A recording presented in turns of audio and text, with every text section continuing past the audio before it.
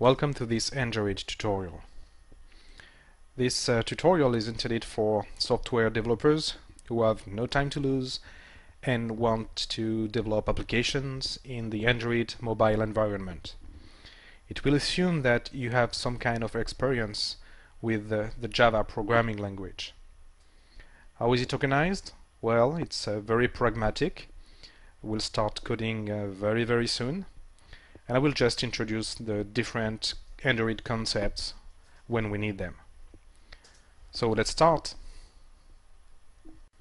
So we are here to learn how to develop with Android. So I'll be uh, kind of brief on the Android introduction. Let me say just that Google has announced uh, the Open Handset Alliance and at the same time the availability of the Android platform in November 2007 when they released the very first Android software SDK. In the United States, uh, one year later, T-Mobile has announced the very first Android mobile phone, the G1, so it was in October, October 2008. And uh, since they have sold uh, several hundreds of thousands. So what is this uh, Open Handset Alliance? Of course, it's Google, but it's more than Google. There's more than uh, there's 40 plus companies involved. We have uh, handset telephone manufacturers like HTC, LG, Motorola, Samsung, but also mobile operators like China Mobi Mobile, uh, Communication KDDI, Docomo, Sprint, Nextel, T-Mobile, Telecom Italia, Telefonica, uh, also semiconductors companies like Audience, Broadcom, Intel, Nvidia and others, software companies uh, including uh, eBay, uh, Nuance, uh, Packet Video, and uh, also commercialization companies like Aplix, TAT, Wind River. So what about now the Android development? What's what's different? I would say three things. First, the limited resources. A mobile phone is not a computer, even if mobile phones nowadays are very powerful. And one of the limits is the battery capacity. You have to know that every clock tick of the processor, every refresh of the memory, every uh, backlit of a pixel on the screen uh, will take energy from, from the battery. Not a big deal for a laptop, but you have to consider that on a, on a mobile phone.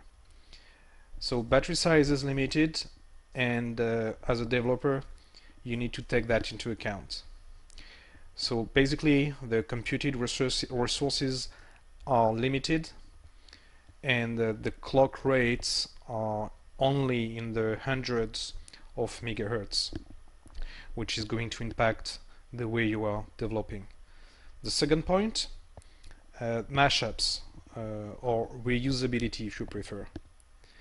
In other mobile environments, applications are separate. Uh, maybe the web browser is an exception, but you are expected to code what your application is doing. Here on this platform, it, it's really different, and one of the maybe uh, greatest example is Google Map that you can very, very easily integrate in your application. We're going to learn how to do that. And the third uh, point is uh, would be the uh, interchangeable applications. Uh, for example, if you want to send an email, you do not directly connect to uh, the email program on the phone because there may be uh, five, ten email programs. You just ask the operating system for a piece of software that is able to send an email. So these are for the main uh, differences. And that's it for this brief Android introduction. In this chapter, we're going to prepare our Android development environment. We're going to do a little bit of downloading, of installing, and of configuring, but when we'll be done, we'll have everything we need to start coding. We'll be able to start developing thanks to the editor and the compiler. We'll have access to the technical documentation. We will also be able to test our application and if you don't have any Android phone, not a problem. We'll use the emulator. We'll also have access to a debugging environment and to performance tools. You'll also be able to sign your application in order to distribute it. For most developers, what's different when developing with Android is the fact that the environment you're using to develop is different than the environment you're using to run your application. If you are a GNU Linux, a Mac or Windows developer, usually the environment you're using to develop is the same used or very close to the one used to run your application. Here, of course, it's different. You probably don't want to code directly on your telephone. The keyboard and the screen of your computer will be much more comfortable. Until you are really free of bug, we will develop and test on the emulator. And then, when you'll be really ready, you'll test on your telephone. And if possible, if you want to do a proper QA, you will test on different models of Android phones to make sure the application behavior doesn't change. Now, what are we going to need to start developing? In most cases, developers use an integrated development environment and usually Eclipse. That's what we are going to use here and that's what I recommend. Eclipse is not the Android development environment. Eclipse is a development environment, but, but thanks to plugins and tools, at any time we'll have access to all the tools we need. But once again, what will we need? We need Java. Combined with XML, Java is the Android development language. Then we'll need Eclipse. We'll need the Android SDK, Software Development Kit, and we'll need ADT, the plugin I was mentioning a couple of seconds ago.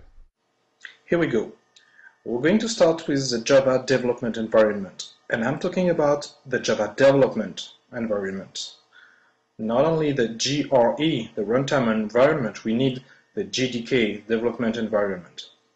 You can go directly to send.java.com, then you click on downloads, then on top downloads, and you will see different version. You will probably want to download the Java SE here in version 6. But if you are an expert Java developer, you may also download the enterprise version. Now a comment for Mac developers. You don't need to listen to what's following because Java is already there installed on your computer.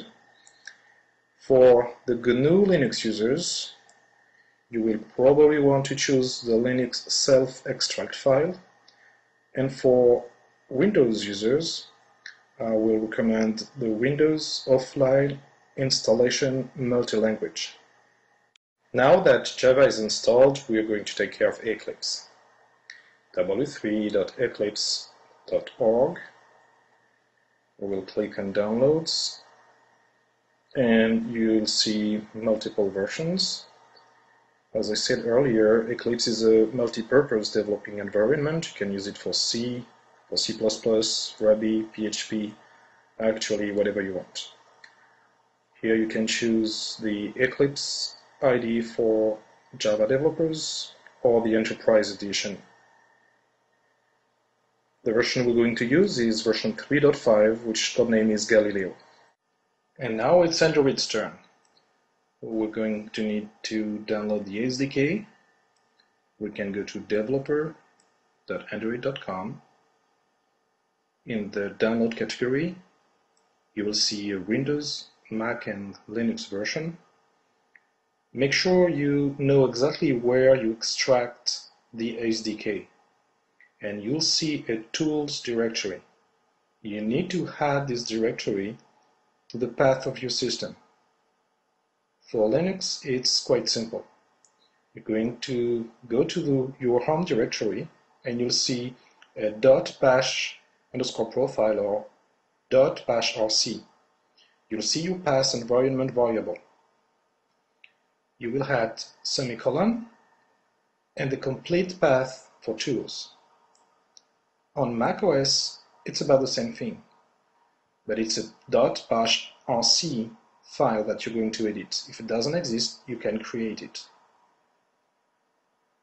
Now for Windows users, it's a little bit more tricky, but I'm going to give you the recipe. Right click on my computer, then you click on Properties, and then on Advanced tab, and then on Environment Variable, you will see a dialog box. Double click on Path, and then here you will add the complete path for the tools directory. Once again, right click on my computer, select Properties, then Advanced tab, then Environment Variable, double click on Path, and then you have the complete path for the tools directory right in there. If everything is okay, and as I will show you right here, wherever you are on your file system, you should be able to execute the Android tools.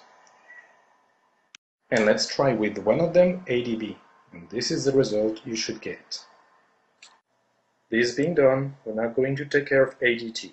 ADT, Android Developer Tools, is this uh, plugin that will allow us to develop Android applications using Eclipse. That's going to be our last step. So I'm starting Eclipse and we're going in Help, Install New Software, and here you can see that there are already a number of uh, downloading sites. I'm going to add a new one. I will name it android.adt. For the URL, it's going to be https semicolon slash slash dl dash ssl dot google.com slash android slash eclipse. So we can uh, just confirm here And uh, so we want the Android development tools. Next. And I will probably have to validate the installation. Confirm that I accept that the packages have not been signed.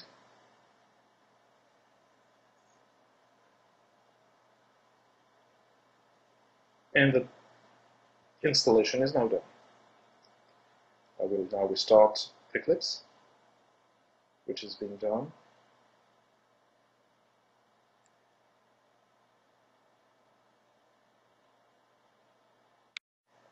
And now we can make sure that under Windows you have now the Android SDK and the AVD Manager. Now, Eclipse and ADT are installed. They communicate with each other but, but this being said, the SDK of Android and Eclipse are ignoring themselves because we have not indicated Eclipse where to find the SDK. So just go to the preferences and then click on Android and uh, make sure to fill in the SDK location. You see where it is on my Mac. On your computer, it may be different. Once it's done, you can go back in the Android SDK manager. AVD means Android Virtual Device. And here you can see that on my machine I already have a virtual device configured. Android to the one API 11.7. It's probably not the case on your computer, so we're going to download the different versions of the APIs and configure a device. For that, you will go to available packages, and then you'll be able to download the different version I would recommend that you download all of them, even if it uh, can be a little bit long to download. But it's the only way to test your application on the different version of uh, the API, so on different version of, of an Android phone. But of course, if you're developing for one phone and only one phone, then just the one uh, you need, it's fine. Once it's done, you can go install packaged and it can take a couple of minutes to download all that stuff. You will have the Android documentation, API 7 in this case, the Android SDK tool version 4, AP, uh, Android APIs and uh, Google APIs as well. We now have everything we need uh, to create a device, create a virtual device. First, I will remove the one I have on my computer, which is done, and I will recreate it to show you the process. New, so the name. Uh, I create usually more than one device, so I like to have a meaningful uh, name, and I usually include the Android version and the API level version. Here, level 7. For the target, so 2.1, and uh, now we can specify size for the SD card that's for the emulator, of course. I will use here 128 meg.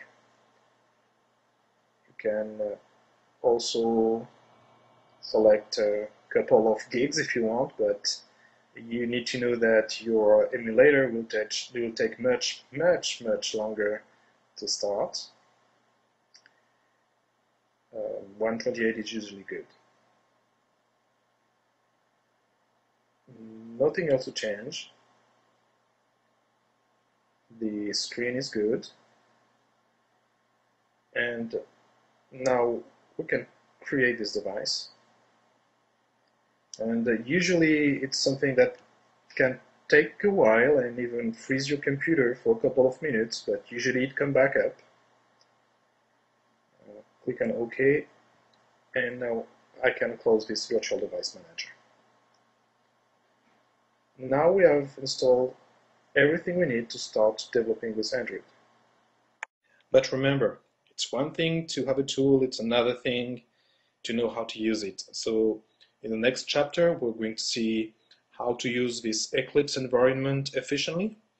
And then, but only then, we'll start really developing application and we'll have a look on uh, what's under the hood.